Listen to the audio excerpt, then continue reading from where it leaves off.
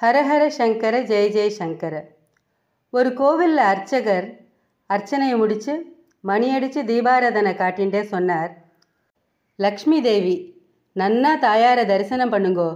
ஒரு மண்டலம் தரிசனம் பண்ணினா ஐஸ்வர்யம் கொட்டும். அவ்வளவு சக்தி தாயாருக்கு. ஒரு பக்தர் பயபக்தியோடு வணங்கினார். அதுக்கப்புறம் இப்போ பெருமாள் சந்நிதிக்கு போகலாம் அப்படின்னு சொல்லிட்டு தாயார் சந்நிதியை பூட்டிட்டு பெருமாள் சந்நிதிக்கு அர்ச்சகர் நடந்தார். அது ஒரு புராதனமான கோவில். அந்த பக்தரோட முன்னோர்கள் அங்கு வழிபட்ட கோவில். அதனால் கூகுளில் விலாசத்தை தேடி கண்டுபிடிச்சு குடும்பத்தோட மகனோட காரை தானே ஓட்டிட்டு வந்திருந்தார். மெயின் ரோட்லேருந்து கரடு முரடான சாலையில் மூணு கிலோமீட்டர் பயணத்தின் பின்னர் தான் கோவிலை அடைய முடிஞ்சுது. பத்தாவது படிக்கிற பேரன் வழியெல்லாம் புலமிண்டே வந்தான். இப்படி ஒரு மட்டமான ரோடு இருக்குன்னு தெரிஞ்சிருந்தா நான் வந்திருக்கவே மாட்டேன் தாத்தா அப்படின்னு செல்லமாக கடிஞ்சின்றான் தாத்தாக்கு பேரன்கிட்ட கொள்ள பிரியம். அவனுக்கும் இவர் மீது அன்பு தான் ஆனாலும் எப்பவும் அவரோட கருத்துக்கு எதிராக பேசி வம்பு கிழித்துட்டே இருப்பான். அவன் இந்த காலத்து பையன். ஆன்மீகத்தில் அவ்வளவு ஈடுபாடு இல்லை. கடவுள்னு ஒருத்தர் இல்லவே இல்லைன்னு விதண்டாவாதம் பண்ணுவான். நாலாவட்டத்தில் அவனுக்கு கடவுள் நம்பிக்கை தானாகவே வரும்னு அந்த பக்தர் நம்பினார்.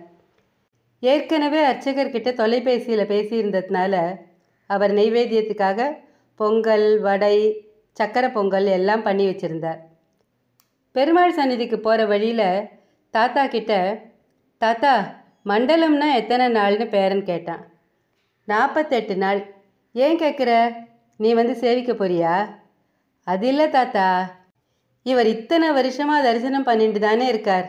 ஆனால் இவர் இன்னும் அழுக்கு வேஷ்டி துண்டு கட்டிண்டு ஏழையாக தானே இருக்கார் தாத்தா. அவர் காதில் விழுந்தா வருத்தப்படுவார். அப்படிலாம் பேசக்கூடாது. கம்முன்னு வா. பெருமாள் சந்நிதியிலையும் தீபாராதனை நைவேத்தியம் எல்லாம் முடிஞ்சுது. மந்திரம் எல்லாம் சொல்லி தேங்காய் பழங்கள் பிரசாதம் எல்லாத்தையும் ஒப்படைச்சார் அர்ச்சகர்.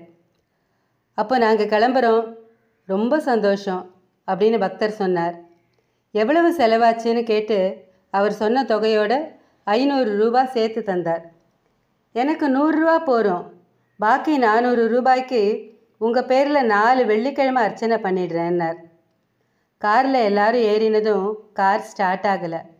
இன்ஜின் உருமி உருமி அடங்கித்து வண்டி கிளம்பலை. அவர் முகத்தில் கவலை படர்ந்தது. இந்த அத்வானத்தில் எந்த மெக்கானிக்கை கூப்பிடுறது? கோவிலை பூட்டி அர்ச்சகர் பக்கத்தில் வந்தார். கார் பிரச்சனையா? கவலைப்படாதீங்கோ. இந்த நம்பருக்கு டயல் பண்ணி கொடுங்கோ. நான் பேசுகிறேன் அவர் ஃபோனில் பேசினார். இங்கே காரில் ஒரு சின்ன ப்ராப்ளம் கொஞ்சம் வந்துட்டு போறியா?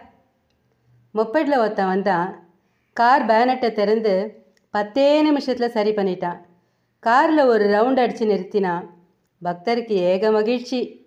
இரநூறு ரூபாய் நீட்டினார். அர்ச்சகர் சொன்னார் பணம் எல்லாம் வேண்டாம். பர்ஸில் வைங்கோ. இவன் என் புள்ள. ஃப்ரான்ஸில் நிசான் கார் கம்பெனியில் சீஃப் இன்ஜினியர் லீவில் வந்திருக்கான். லீவு முடிஞ்சதும் ஒரகடம் ஃபேக்ட்ரியில் இன்சார்ஜாக பொறுப்பேற்றுக்க போகிறான் ஓ தட்ஸ் கிரேட் தாயாரை தினம் தரிசிக்கிற இவர் ஏழையாக இருக்காருன்னு சொன்னியே. இப்போ பாத்தியா? தேவியோட சக்தியை அப்படின்னு பார்வையாலேயே கேட்டார். அர்ச்சகர் அந்த பேர குழந்தை கிட்ட வந்தார். அம்பி நீ ஸ்கூலில் எந்த ட்ரெஸ் வேணாலும் போட்டுட்டு போகலாமா இல்லை யூனிஃபார்ம் இருக்குது அதை தான் போட்டுக்கணும். அதே மாதிரி தான் இந்த கோவிலை பொறுத்த வரைக்கும் எனக்கும் இந்த வேஷ்டியும் துண்டும் தான் யூனிஃபார்ம் நான் பேண்ட் ஷர்ட் போட்டுட்டு பூஜை பண்ணினா நன்னா இருக்குமா? அதுதான். மற்றபடி கடவுளை நம்பினா நிச்சயம் விரும்பினது கிடைக்கும்னார். காரில் ஏறின எல்லாரும் அர்ச்சகருக்கும் அவர் பிள்ளைக்கும் கையசைச்சு விடை பெற்றுண்டா? இதே மாதிரி வாரம் ஒரு கோவிலுக்கு போகலாமா தாத்தா? அப்படின்னு ஆவலோடு கேட்ட பேரனை ஆதரவோடு தட்டி கொடுத்தார் அந்த பக்தர். நிச்சயம் போவோம். காரை ரிப்பேர் ஆக்கி அந்த பேர குழந்தையை ஆன்மீகத்துக்கு மாற்றி இறைவனோட திருவிளையாடலை எண்ணி வியந்தபடியே வண்டியை ஓட்டலானார். ஸ்ரீ மகாபெரிவா திருவடிகளே சரணம். ஹரஹர சங்கர ஜெய ஜெய சங்கர காஞ்சி சங்கர காமகோட்டி சங்கர.